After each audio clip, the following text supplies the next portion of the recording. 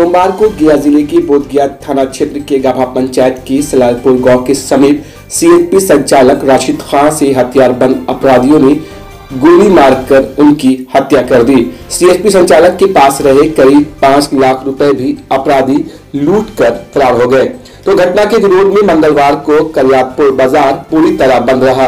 वहीं दुकानदारों ने अपराधियों को जल्द से जल्द गिरफ़्तार करने की मांग की। वहीं सीएचपी संचालक राशिद खान की हत्या पर बोधगया के राजद विधायक कुमार सर्वजीत ने अपराधियों को चेतावनी देते हुए कहा है कि अपराधी अपराध करना बंद करे, नहीं तो उसी तरह की घटना अपराधियों के साथ भी की जाएगी। विधायक कुमार सर्वजीत ने कहा कि बिहार में जिस तरह से अपराध में वृद्धि हुई है, उससे साबित हो गया है कि कोई भी व्यक्ति बिहार में सुरक्षित नहीं। कुमार सर्वजीत ने कहा कि बिहार में लगभग 400 पुलिस निरीक्षक को सस्पेंड कर लाइन हाजिर किया गया लेकिन बिहार में कोई काबिल पुलिस अधिकारी नहीं।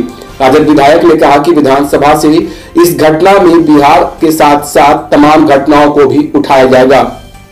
बिहार में गया जिला के विभिन्न जिलों में देखिए जिस तरह से पूरे बिहार में आपराधिक घटना की वृद्धि हुई है हम इसकी घोर निंदा करते हैं और बिहार की नाम जिस तरह से बदनाम हो रही है, वह जो है अब प्रूफ हो गया है कि बिहार में कोई व्यक्ति सुरक्षित नहीं है। और गया जिला की बात अगर मैं करता हूँ तो मैं अपने राजनीतिक जीवन में इसके पहले कभी इस तरह की इतनी बड़ी आपराधिक घटना नहीं देखी। लगातार जिस तरह से घटना की वृद्धि हो रही है, और सबसे बड़ी बात है कि जो सिस्टम है हमारा ये पूर्ण रूप से फेल हो गया है। जो बड़ी अधिकारी होते हैं, वह ऑफ़िस में बैठ करके और अपनी फ़ाइल की निपटारा करते हैं। और जो थाना होते हैं, वह जो है दारू पकड़ने में लगे रहते हैं। तो मेरा कहना है कि अपराध पे नियंत्रण कैसे हो और लोग कैसे सुरक्षित रहें, ये बड़ी अधिकारी को मॉनिटरिंग करनी चाहिए। करीब करीब चार, साढ़े चार सौ इंस्पेक्टर जो है लाइन हाजिर है। यह सरकार का पता नहीं कौन सा इनकी जो है विद्वानता है कि 400 इंस्पेक्टरों को इन्होंने लाइन हाजिर कर दिया। सक्षम अधिकारी नहीं है थाना चलाने हैं कि जल्द से जल्द, चाहे अपराधी किसी भी ओहदे पे हो, कितनी बड़ी सातिर अपराधी क्यों नहीं हो, जल्द से जल्द पकड़ा जाए। हम यही मांग करते हैं स्थानीय प्रशासन से और मैं कल निश्चित तौर पे प्रयास करूँगा कि मैं माननीय मुख्यमंत्री को आवेदन दूँ, बिहार के डीजीपी को आवेदन देंगे। और जो है, स्थानीय प्रशासन से मैं लगातार बोधगया के डीएसपी से बात कर रहा हूँ।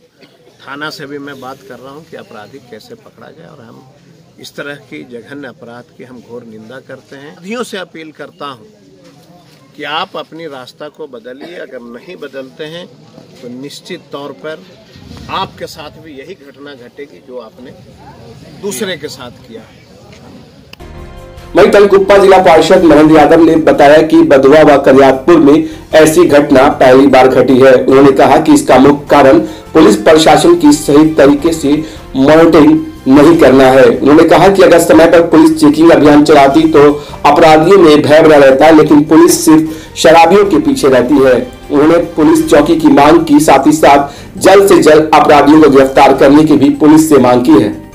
देखते हैं परखते हैं लेकिन जो बदलते दौर में जो करियातपुर के हालात हैं और जो अपराध बढ़ रहे हैं इसको आप किस नज़रिए से देखते हैं? यहाँ कौन सी अधिकारियों का चूक होती है कि जो करियातपुर विधायक जी ये बोल रहे हैं कि अगर इस रोड में मॉनिटरिंग कभी कभी चेकिंग लगे हमको लगता है कि अपराधी भी डरता है कि इस रोड में जाओ तो चेकिंग चलता है। कहीं कहीं बीच में सीमेंट रोड में आप लागाते हैं, लोग डरता है। पहला घटना है इस तरह का।